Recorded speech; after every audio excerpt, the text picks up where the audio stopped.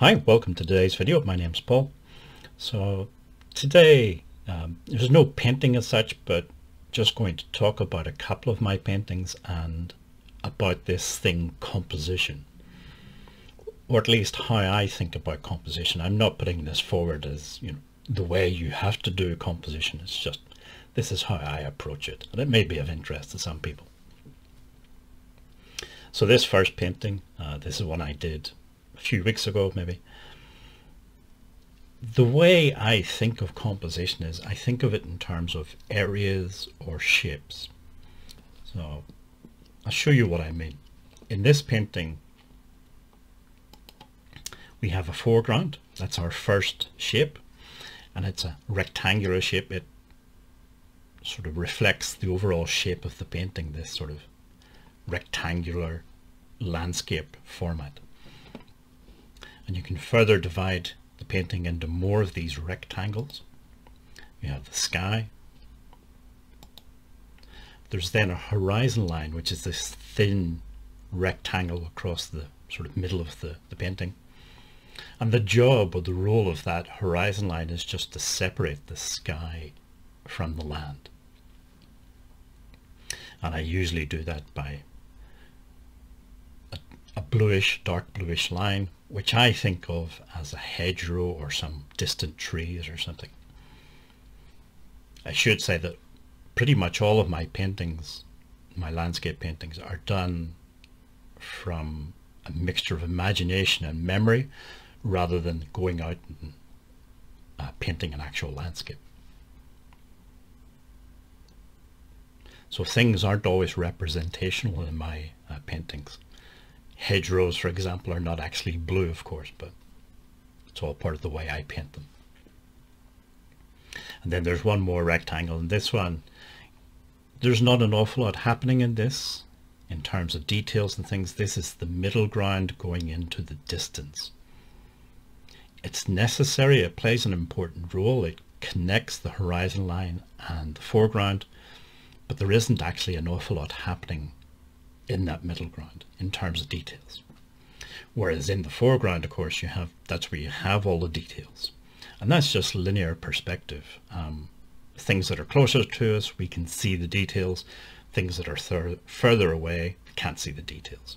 And that's all linear perspective really is in landscape, at least that's how I think of it. Yes, you can start going into things like converging lines and vanishing points and stuff, but I think with all of this, you can make it as complicated as you want, but you can also keep it as simple as you want. And to me, linear perspective is just things that are close, we can see details. Things that are further away, we can't see details. So by doing that and thinking in that way, you can create a sense of depth in your, in your paintings.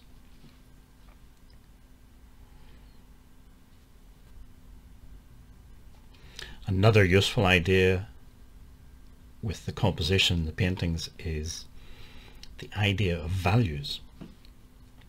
People know, people will often ask what I'm using. Um, and while colors, yes, of course, they create that overall look and feeling of the painting. They, especially in the sort of painting I'm doing, as I said, hedgerows are not blue. I paint them blue, but they're not actually blue. Um, I don't try to get realistic colors. I use just colors that I enjoy. But I do think about values.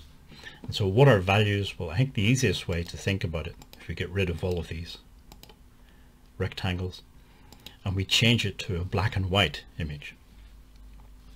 These are values. So if you imagine everything has just been changed from color to a gray scale, going from really dark, pretty much blacks up to whites. And you can see in that foreground, there's an awful lot happening in terms of values. And that's what I use to give sense of um, implied detail. When you look at it, it's actually very abstract. It's just a bunch of abstract marks um, using different values, letting some of the white of the paper come through, using dry brush marks to get these lines. When people look at it, especially when it's in color, they'll start to read it as um, maybe there's a field of some sort of crop and these are the stalks growing up or this is the grass growing up. People will usually read it in that sort of way because that's what that's their experience of looking at a landscape especially when it's a field like this.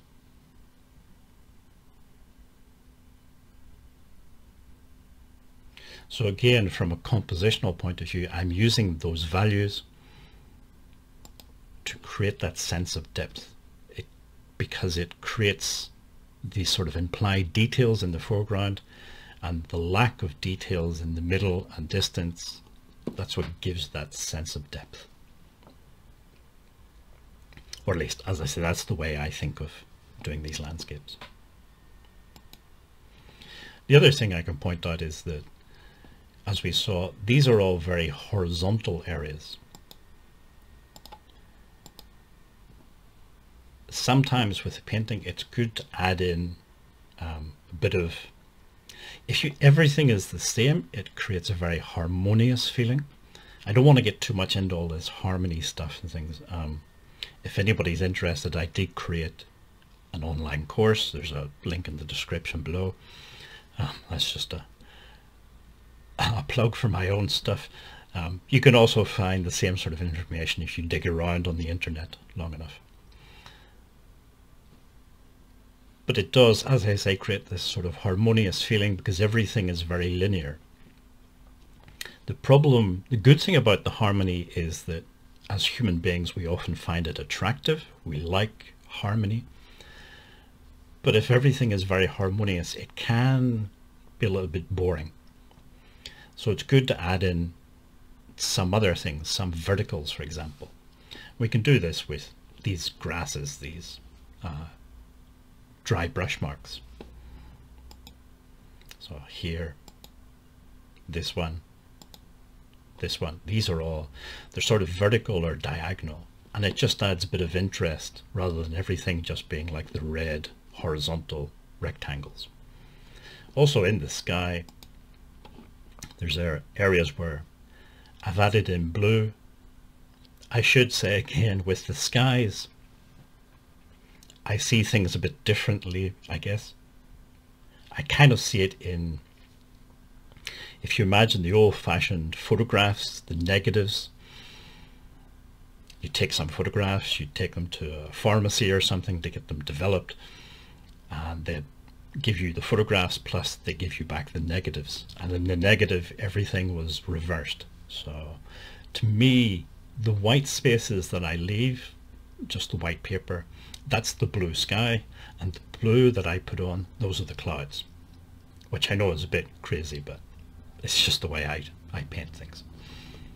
But anyway these clouds that I've added in they give a bit of vertical um, dimension as well. And the same over here. So basically to sum up, all the horizontal things, it's creating a feeling of harmony, which creates a feeling of sort of a peaceful landscape, which is the overall feeling that I want to give with the painting. Somebody looking at it, the viewer can think that it's peaceful, it's relaxing.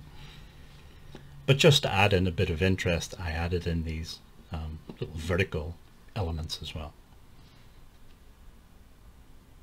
Okay, so that's the first painting. I hope that makes some sort of sense to somebody. Um, but anyway, this is how I sort of look at composition. Another example, another painting. So there's a lot of similarities, but there are also some differences. And probably the main difference is this sort of triangular shape, this hedgerow that divides the landscape into two parts. again, it also adds in a sort of um, linear perspective. As things get further away, they sort of shrink in size. It's like the uh, when they introduce the idea of linear perspective, one of the examples is very often imagine standing on a, a bridge over a railway track and as the railway track gets further and further away, it appears to converge towards a point, the vanishing point. In reality, of course, we know that the tracks, the real tracks, are the same distance apart across the entire thing. Otherwise, well, the train wouldn't be able to ride along the tracks. So it's the same sort of idea here. The hedgerow gets smaller as it recedes into the distance. So adding in something like this, this sort of element, it has two effects then. It divides up the land the middle ground and the foreground and it also adds the feeling of depth again but this time using linear perspective. The middle ground again you can see these areas there's not a lot happening in there. Um, there's not much detail. And again if we go over to um, black and white you can see in the foreground there's lots of lines and shapes and things suggesting detail um, implied detail rather than actually painting in detail. And again with the horizon line we have a bit of darker values here just to separate the sky and the land. So like I say there are similarities with the previous painting using the implied detail in the foreground and the lack of detail in the middle and distance to create that feeling of depth. I've also added in the hedgerow, which creates that linear perspective again, a feeling of depth in the painting. The horizon line in the darker value to separate the sky and the land. But adding in this triangular feature also, it adds in a bit more complexity maybe or difference in the the overall composition of the painting. It creates these different shapes. It's no longer just linear, flat shapes. The sky is still um, very much a, a rectangular shape, but the landscape is divided into these different areas now. So to kind of sum up and maybe give a point that might you can maybe take away and use in your own paintings try to think about the paper. Do you want the paper to be um, vertical, a sort of portrait format or landscape format? And how are you going to divide the paper up into areas? Don't make it too complicated. Don't try and get 25 different little shapes and areas. Keep it simple. Um, three or four areas and then you can add in little things like vertical marks and different colors and things to add some interest.